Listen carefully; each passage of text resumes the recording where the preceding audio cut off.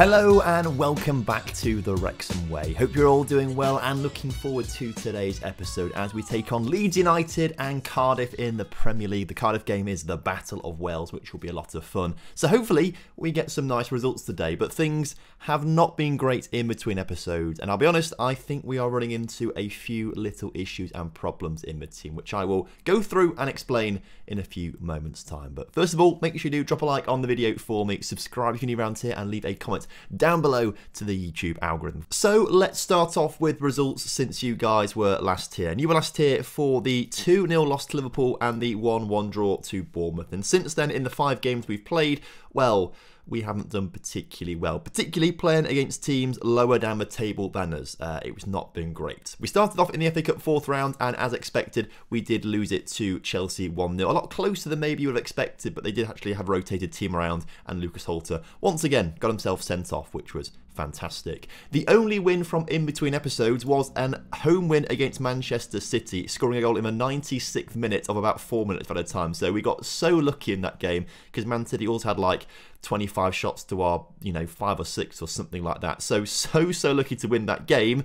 But following that, a 1 0 loss to Leicester was not ideal. A 2 2 draw with Burnley was really not very good with us, uh, particularly had to fight back for that one as well. And then a 2 1 loss to Southampton is the icing on the cake. It was not a great game, that one. Uh, we did deserve the win. Look at the match stats. We deserved the win. Uh, 16 shots to their 11. Mm, you know, maybe not quite as clear cut as maybe I remembered it being, but it was frustrating not to get the three points. And so we are slowly sliding down the table. We've then dropped down to 12th place, to be fair, which is much better than where we should be. Uh, Chelsea actually down below is in 13th. That's the real surprise, I think, this season. Chelsea not doing particularly well, but do have a pretty decent team. You can see Lukaku up there with uh, 18 goals, uh, Mason Mount with a great average rating. So not quite sure why they are so low down the table, but those aspirations that we had for potentially getting into European football, well, they are completely done, founded now. We are, what, 13 points behind Newcastle in sixth place, um, 12 points behind Brighton in seventh, uh, which obviously isn't ideal for us, but we are way ahead of the relegation zone, 21 points clear of the relegation zone as things stand right now. So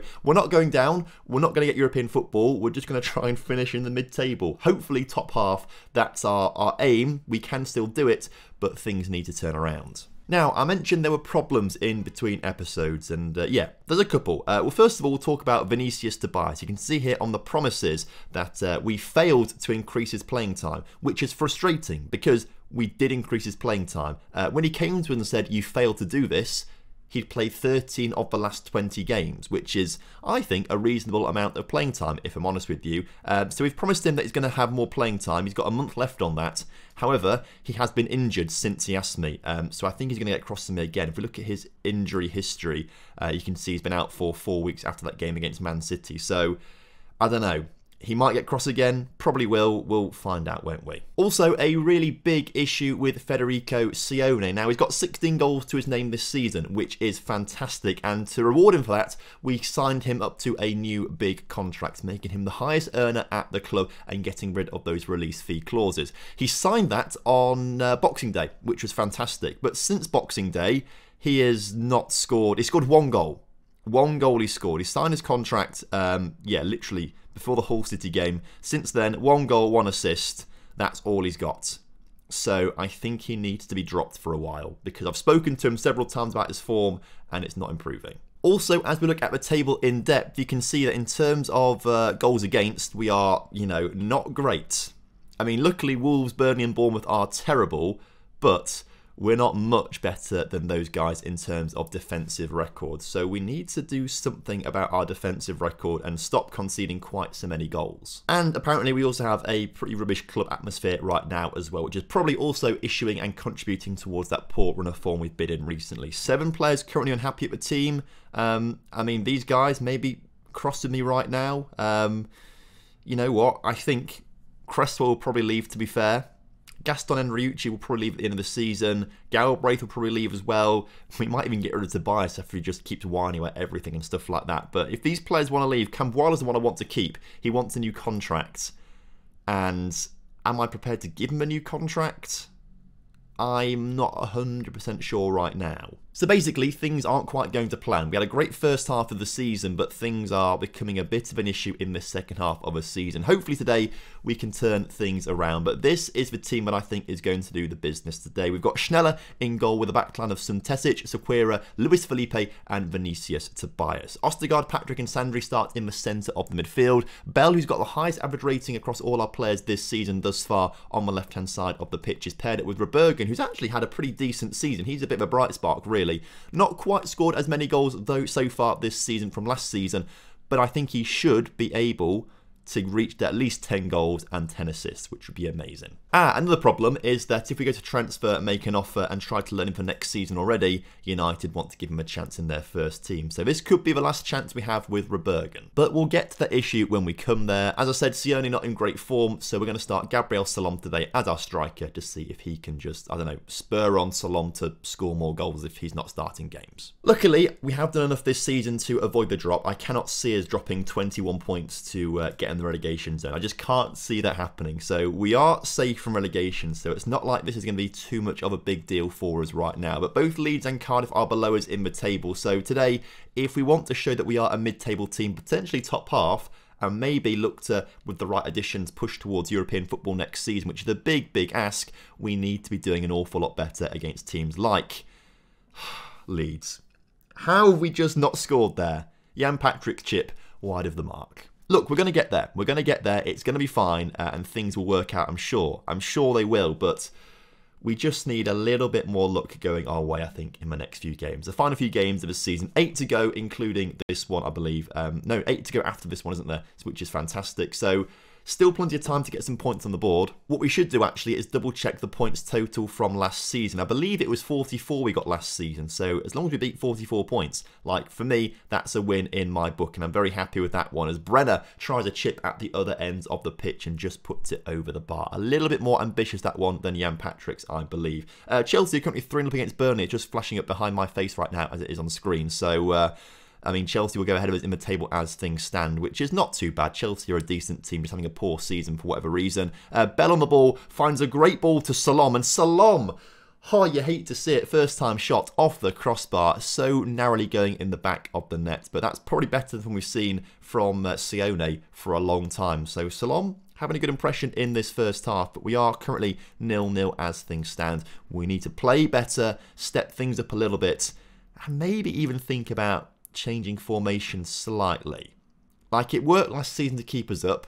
It worked in the first half of the season to get some good results, but have we been found out? That's something that maybe we should be looking at and maybe looking to tweak into next season. Just sort of reassess the quality of players that we have and what their greatest strengths are. Because I think.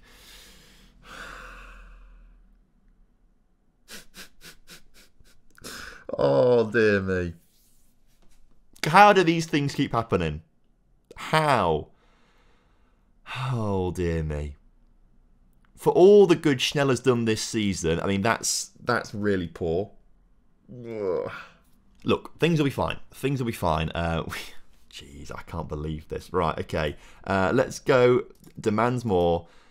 And let's work the ball into the box instead for a change, shall we? Let's try and do that. Let's focus play down the wings a little bit more, see if we can just work that out a little bit better potentially. Let just try something slightly different for the final 20 minutes of this game. Let's also, whilst we're here, maybe make some changes too. Uh, let's bring Sandri off for Debbie. Let's also, I mean, Salom's on a 6.3. You hate to see it. Rebergen on a 6.2. Let's bring him off for uh, Luciao and then confirm those changes. Let's see how we can do for the final 20 minutes or so as Leeds United look to come forward Will the pain continue as Jack Harrison on the ball uh, gets it out wide, gets it back at his feet in the area, and it's a good shot on goal, good block from our defenders there, and we do manage to stop Leeds United getting a second goal here. To be honest, I don't think we've really deserved this one at all. You can see Leeds have dominated us in the match stats as well. XG is high for us because we had some two really good chances early on in the game, but since those chances, absolutely nothing. And we deserve this loss. We deserve it throw the water bottle, I'm not happy. And this is just how it's been in between episodes, really. So we dropped down to uh, 14th in the table behind both Chelsea and Leeds, so uh, slipping down a little bit further. Let's just double check the points total we got last season. The points total we had, I'm sure it's 44 we got last season, if I remember correctly. At 38. Oh, lower than I thought it was, to be fair. So actually, we are, what are we on now? We're on 38. So we've equal the points total from last season, which is great. So really, actually, if we're going to be, you know, completely honest, just one more point this season, that would be enough for me to say that we have improved and we've done better. But given we've got eight games to go, if we only get one draw and seven losses in that time, I'll be really upset. Also doing a lot of scouting out of the Welsh teams and setups right now. Um, and Biro apparently he's gone back to uh, Grêmio apparently because he wasn't very good at Southampton. Um, so they let him go back to Brazil where he's done very well. So clearly just flops in the Premier League maybe. But as I was saying, uh, doing a lot of scouting right now of the uh, but as I say, doing a lot of scouting right now of the Welsh system because we actually don't have any Welsh players in our first team, which is a bit worrying. Ah, that is a lie, actually, because Ewan is Welsh, uh, but he's the only person who's Welsh in our first team right now. Uh, we've got no one in the first team of the Welsh setup. But if we go to the under 21 teams and sort it by club, we've got one, two in the under 21 setups, and we've got a few more out on loan, uh, particularly Colchester actually. We've got four players out on loan at Colchester this season, and they are currently fourth in League One. We're rooting for Colchester at the moment. They might just miss out on automatic promotion, but hopefully in the playoffs they'll do pretty well. If we drop to the under 19s, for example, we've got more players at Wrexham than Swansea and Cardiff and stuff like that. Under 18s is a similar story. So we've got players coming through, which is great, but they just need to develop quicker. Quicker, please. And speaking of players on loan, they are doing really well. If we look at the players on loan list and look at the uh, sorted by teams, for example, you can see four players at Colchester all doing pretty well. Although it looks like they have dipped in form in recent weeks as they have had a bit of bad form. Because I think they were second for a while in League One and they've dropped down a little bit. But they're all doing pretty well, scoring goals, getting assists, keeping clean sheets. It's what you love to see. So actually, I wouldn't mind getting Colchester if they get promoted to the Championship as an affiliate club. That'd be quite nice. But as the days tick on, it's the 14th of March. That's my birthday, so happy birthday to me in 2029. You love to see it. Uh, the Battle of Wales is not approaching us. Why is the Battle of Wales not approaching us? Um, what's happened with that? We'll look at the, the youth intakes coming through. It looks amazing, by the way, so we'll look at that in a second. Um, but the match has been rearranged due to Man City v Cardiff. In what? In what? Oh, the FA Cup quarter final. Okay. Well, that's annoying. So I guess we're not going to do the Battle of Wales today. Um, and given it's two weeks until the game against Tottenham, and I'm recording this on my lunch break right now on Friday, um, I haven't really got much time to play through those two weeks, so we might have to cut this episode a little bit early today. But at least we have got the youth intake coming through right now, which is fantastic. We can at least finish an episode on a high right now. And actually, three players with five star potential coming through looks pretty nice. We'll start off with Jonathan Weir, who is the top rated prospect, a Mezzala in the centre of midfield. And to be fair, 14 passing, 12 technique, uh, vision work rate's pretty high, determination's pretty high. At 15 years old, he actually looks like he could make a solid player in five years' time or something like that. So you never know. This could be quite nice. We've also got Dylan Howarth as well. He is a centre attacking midfielder. And again, does look quite solid. He can play striker too, but his finishing is quite low, composure is quite low. So I'd see him as more of that playmaker potentially, particularly with you know decent passing and technique and vision and stuff like that. If it could all improve a little bit, that would be lovely. And then the final five-star player is a winger on my left-hand side, which of course it is because all our great players come through on my left-hand side of the wing. I don't know why, they just seem to. But 14 dribbling is pretty decent. Uh, pace and acceleration are decent too obviously a lot of work to do in other areas, but fundamentally, he actually does like a pretty decent winger on that left-hand side. So, that could be quite handy, to be fair. We'll have a look at this four-star centre mid as well, um, who's a playmaker, and you can see as well, actually, his mentals are not too bad, but his technicals and physicals are worse than the three guys that we looked at before, so you can see why he's got limited potential compared to the others. But, you know what? I think we'll take that. That's pretty nice. But because we now don't have a game uh, for two weeks or so, and uh, I'm running out of time on my lunch break today, which is not ideal, um, we're going to have to call today's episode here, I am afraid. But next time out, we will be back for the final two games of the season against Brighton and Crystal Palace. So apologies for the slightly shorter episode today, but I think you'll understand why I've got to do that because um, on a work day. I guess work has to come first, sadly, which is a bit of a shame. But thank you very much for watching. Hope you guys have enjoyed today's episode. If you have, make sure you do drop a like on the video for me, subscribe if you're new around here, and leave a comment down below for the YouTube algorithm. Until next time, have a good one. Goodbye.